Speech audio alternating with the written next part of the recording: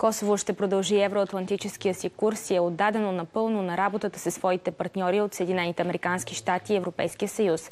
Това заяви президентът на страната Виоса Османи след срещата с специалните пратеници Мирослав Лайчак и Габриел Ескобар. Тя коментира, че нови местни избори в северната част на Косово са възможни само при спазване на Конституцията тясно сътрудничество с западните партньори, изправяне пред съда на виновните за размириците в Северно Косово и запазване на суверенитета на страната. Това са приоритетите за Прищина, очертани от президента Вьоса Османи. Във вторник тя разговаря с специалните пратеници на Съединените щати Европейския съюз Габриел Ескобар и Мирослав Лайчак.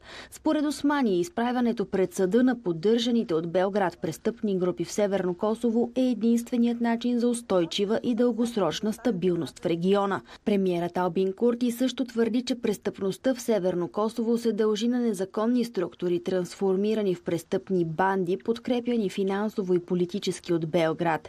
Османи подчерта, че нови избори в северните косовски общини могат да бъдат организирани в съответствие с настоящата конституционна и правна рамка на Косово и подчерта, че трябва да се гарантира демократичното участие на гражданите, живеещи в четирите общини в Северно Северно Косово – Звечан, Лепосавич, Зубин поток и Северна Митровица.